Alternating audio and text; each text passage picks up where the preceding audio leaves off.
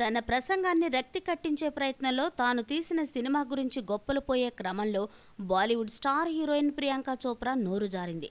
సిక్కిం రాష్ట్రం గురించి ఆమె తక్కువ చేసి మాట్లాడడం తీవ్ర వివాదాస్పదమవుతుంది. ఆ రాష్ట్ర ప్రజలు కంగనా మీద మండిపడుతున్నారు. ఇంతకీ ఏం జరిగిందంటే సిక్కిం నుంచి వలస వెళుతున్న క్రమంలో ఇద్దరు చిన్నారుల జీవితాల నేపథ్యంలో ప్రియాంక పహూనా అనే సినిమాను నిర్మించింది.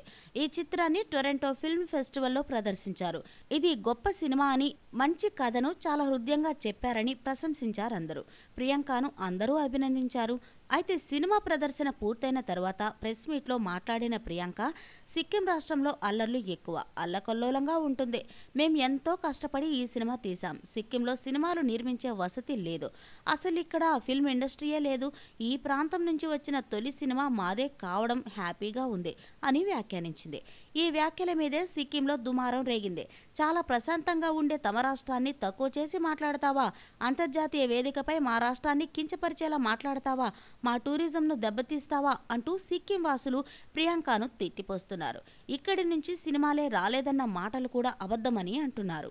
సోషల్ మీడియాలో సిక్కిం జనాలు ఆమెను టార్గెట్ చేసుకున్నారు. అక్కడి నాయకులు ఆమెను బహిరంగంగానే తప్పుపడుతున్నారు టూరిజం మినిస్టర్ కూడా ప్రియాంకను విమర్శించాడు. దీనిపై క్షమాపణ చెబుతూ ప్రియాంక ప్రకటన చేయక తప్పని పరిస్థితి నెలకొంది.